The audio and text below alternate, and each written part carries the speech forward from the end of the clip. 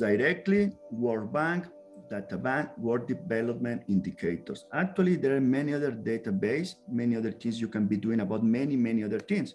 When you're thinking about macroeconomic concerns, in my opinion, this is the best source. Yeah, therefore, directly go to World Development Indicators. That is the case. Now I need to select a couple of countries. Yeah, because I'm telling you, you should be doing this for Mexico. So here's Mexico, and I will do this for my other country, the Russian Federation. Yeah, I can be selecting many others and just be comparing. Yeah, we can do it even later. So I'm selecting my two countries. Then you go to cities. One option to find the indicators that I'm asking for is to type here GDP real or GDP nominal. Nevertheless, there could be a problem because when they here talking about GDP, they are not talking about GDP in, in real terms. They are not talking about real GDP. They are talking about GDP at constant prices. That is part of the definition. When you are talking about the real GDP, that means that you are using constant prices. That means that you are removing the impact of inflation. That means that you are taking one year as a base year. In the video, by the our university, are talking about the year 2009. Here, I was just watching a few days ago, uh, the, base, the base year is the 2010 at constant prices. Yeah, so you can type here GDP, but actually there are thousands of indicators related with GDP and you will find a lot of things and then will be quite complicated in the end to find actually what is important because you can see many things we measure as a percentage of GDP because GDP is very useful indicator, but I'm not looking for this. I need to go up, down, and there are many, many variables that could be useful. Well, but I know because I had experience that when I just click in here, starting with G, then I go directly to indicators about GDP. Yeah, that is oh, what I'm doing. Here, let me go down here slightly. Let me go again here, G, and then I have GDP. Then you will find GDP constant 2010 US dollars. I ask him to do this in US dollars because also you can measure GDP in your local currency. That's what means LCU, local currency. Constant 2010, that means at constant prices, that means GDP in real terms. Therefore, you were looking for GDP, real GDP, you will not find this easily here because the program is assuming that you know that at constant prices, our real GDP is the same. Current prices or nominal is the same. And here you find current prices, current US dollars. Yeah, that means nominal GDP. How I know that? Yeah, because I need this one, I need this one. How I know that this for sure is what I'm looking for? Because here is a line, a letter I, and here is the description. When you go here, you will be start reading and you will find here in the beginning the definition. This is also a definition of what GDP is, the definition that's in your textbook, a definition in the previous video. Yeah, and then you will find here data are in constant 2010 US dollar. This means that we are measuring GDP in real terms. When you go to this with current US, you go to the definition again, you will find a definition of what is GDP, and then you will find this data are in current US dollars. A precios corrientes, a precios corrientes, a precios constantes. So in, in current prices, in, uh, at constant prices. That is what mean, and therefore I know, oh yes, this is what the professor is asking for. Yeah, the nominal and the real GDP. Then I asking you to find this in per capita terms, right? And then I had the GDP per capita. You can do it by yourself. I mean, you can look for population and then dividing these two indicators by population every year, so you will get the GDP per capita. That is what the software is doing. We know we had a census every five years, every 10 years.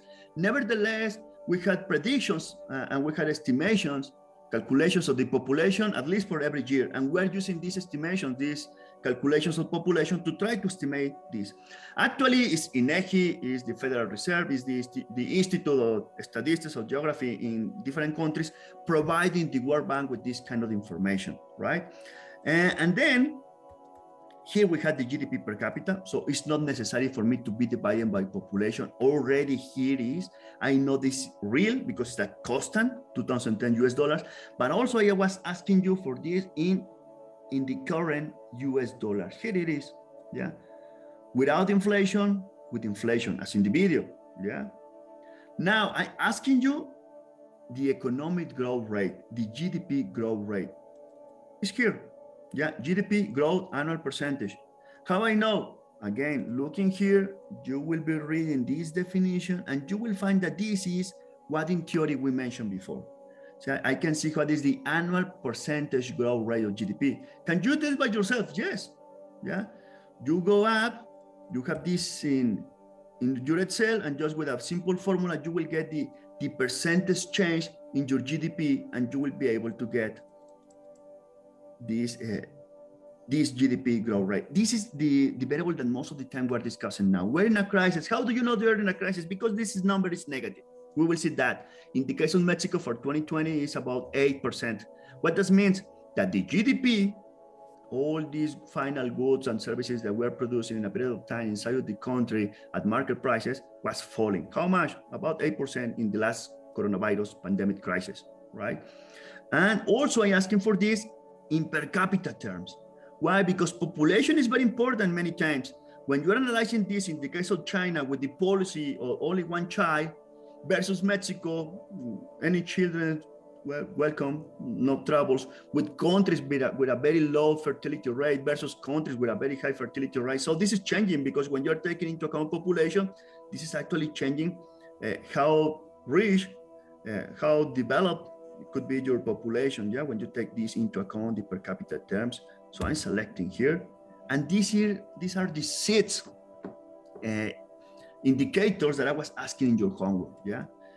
Would you, you go with your homework, here is the activity. If you were selecting something else, so that could be the wrong answer. If you were selecting another source of information, so just be sure that actually you are measuring what I'm asking for. Because I'm asking you for GDP in nominal terms. What does mean GDP at current prices, at precios corrientes?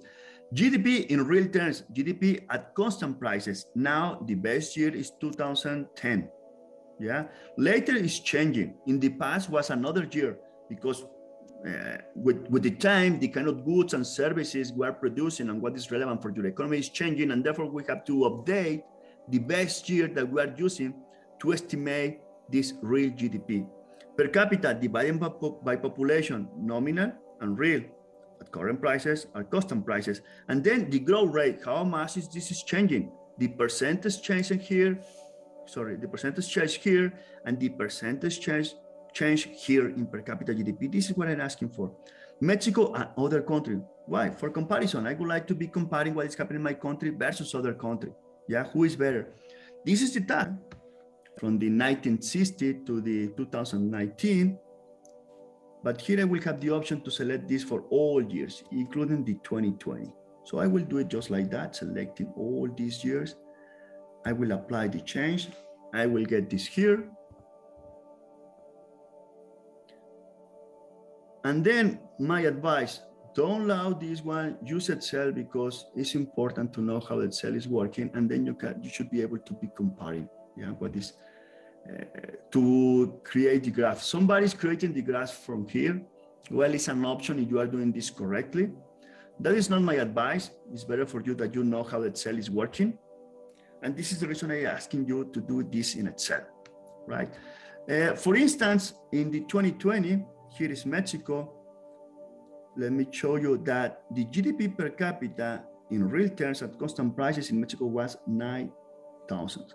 If I would like to see the same indicator for Russia, for Russia in the 2020, so I can see that the GDP per capita in Russia is slightly higher.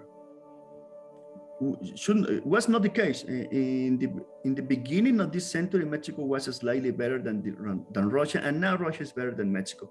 You can see GDP per capita in real terms, close to to twelve thousand, so three thousand more, oh, almost three thousand more dollars per capita in the case of Russia. That means that the economic growth in Russia is better than in Mexico. Yeah.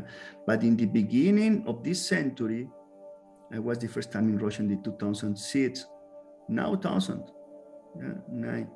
But in the beginning, six, 2000, $6,000.